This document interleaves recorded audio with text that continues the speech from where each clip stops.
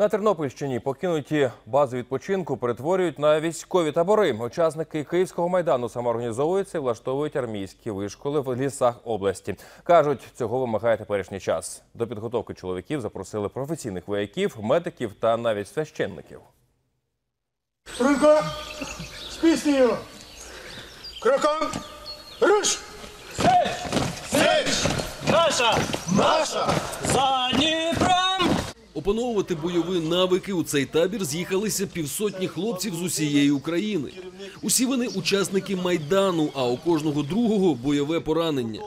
Зізнаються, після подій у столиці на вишкіл ходять з посмішкою. Для мене він як відпочинок, грубо кажучи. Е, Я в армії не служив, але готувався частково до цього. Заняття відбуваються на старій відпочинковій базі, де останнього відвідувача бачили 8 років тому. Сюди завезли польову кухню, а приміщення обладнали під казарму. Основна мета вишколу навчитися виживати у польових умовах. Тут не готуються бойовики, тут не готуються штурмовики.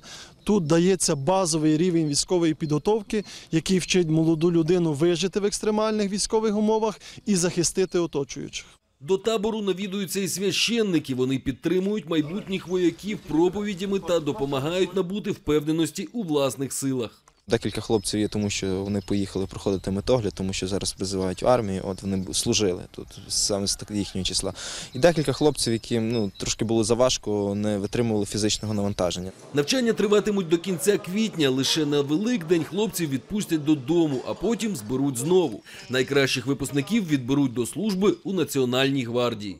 З Тернопільщини Антон Топчій, Зоряна Довгань, Сергій Бодак. Інформаційна програма Сабиття, канал Україна.